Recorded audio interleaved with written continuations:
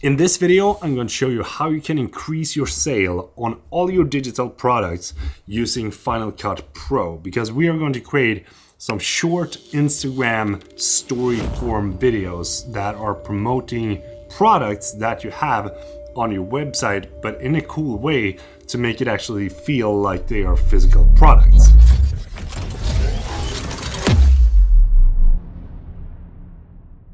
When you open up Final Cut Pro, the first thing that you want to do is of course to create a library and within that library we are going to create a new project. So we're going to hit Command N and then we're going to name this Instagram product promotion.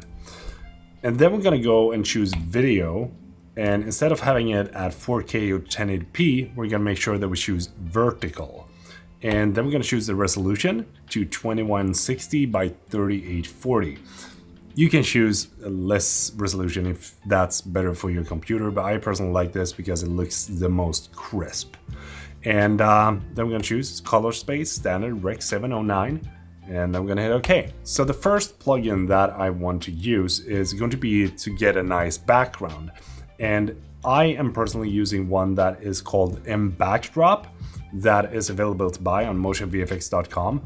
It is highly worth it because it's such a versatile plugin and you don't have to use it for one specific thing because you can use this for a bunch of different things. I highly recommend this because it's super easy to use and there's not that much that requires from you to be able to get, get some cool looking backdrops. For example, I'm going to choose M Backdrop 23 and then just drag down to the timeline. We're gonna zoom in a little bit here. And now, if we play this back, you can see that we have this nice high-tech vibe on the backdrop. And for me, I want to change the color so that it represents my brand a little bit more. So I'm gonna head over here to the inspector and then choose colorize remap white. So I'm gonna click this and I'm going to change this to orange because uh, teal and orange, Peter. Mm, I like it. And uh, the cool thing here is that you can change a bunch of different things with what you see in the image as well. So for example, you can go up and you can change the pattern scale, which is basically the small dots that you can see. And then you change the dot size so that they're bigger or smaller or just visible there we go. And uh, then you can turn on and off the HUD that is above. And the line opacity, you can drag that down if you want. Line width. There's a bunch of different things that you can increase in all of these backdrops so that you can personalize them to make them look the way that you want them to look. And the best part, in my opinion, with these backdrops is that they are constantly moving. So if I want this to be able to play for 15 seconds, which is basically kind of a standard Instagram ad, then I just play back and then you can see that it fades in.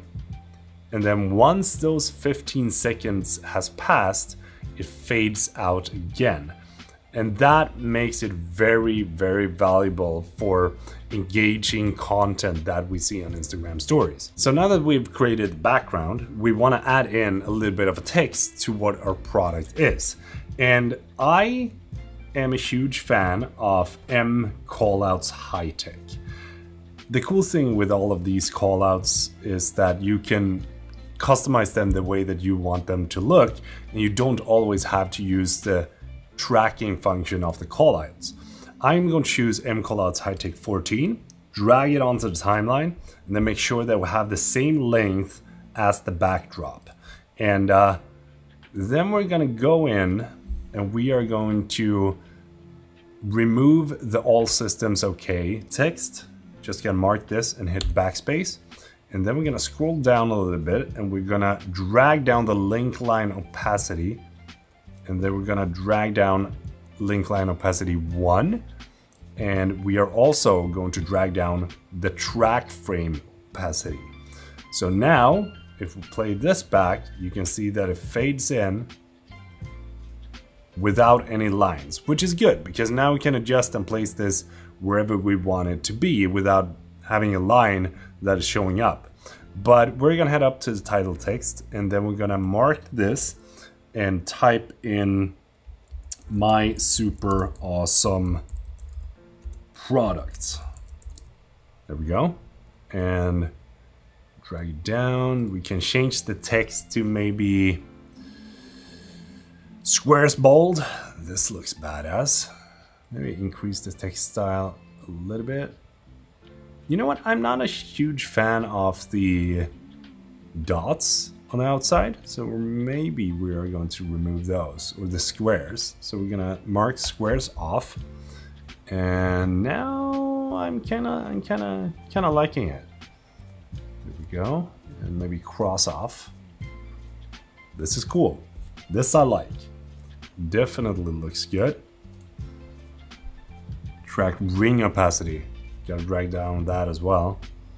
There we go. And the cool thing here is that we can also add in a little bit of extra text if we want to do that with yet another callout. So I'm going to mark this and I'm going to hold in Alt and then duplicate this above the layer. And then we are going to choose the dot and drag this text down. And we are going to go into the inspector panel and we are going to drag down the title frame opacity.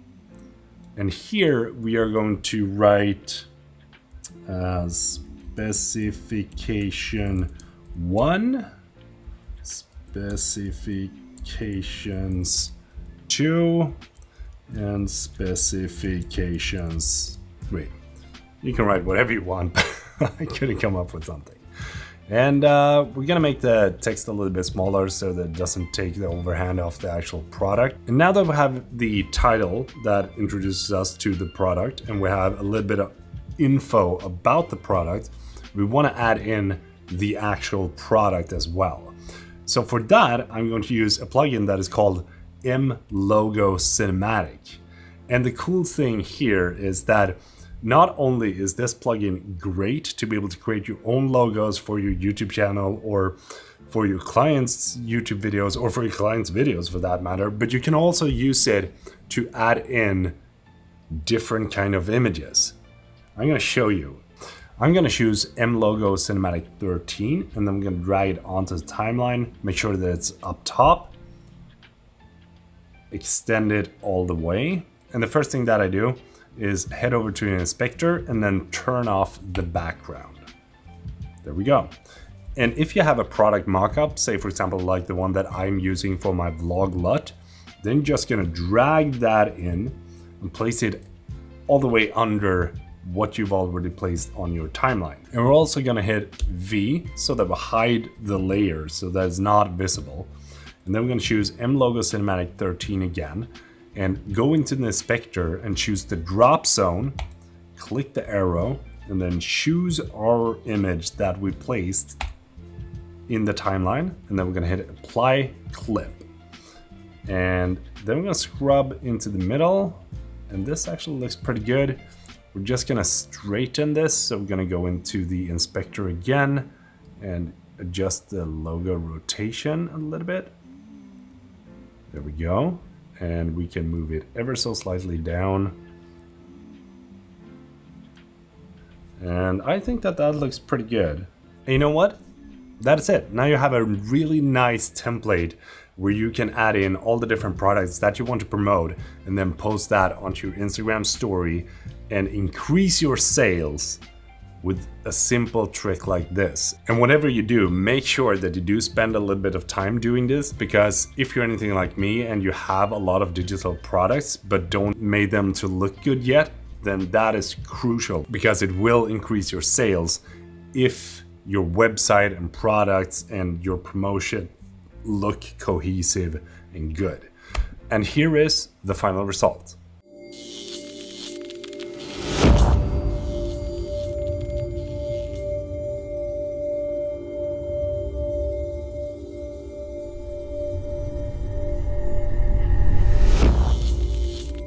Thanks so much for watching, really hope that you enjoyed this video, and if you did, please do give it a thumbs up, and don't forget to hit that subscribe button as well. And, uh, oh, I will see you in the next video, Peter from Sweden saying goodbye.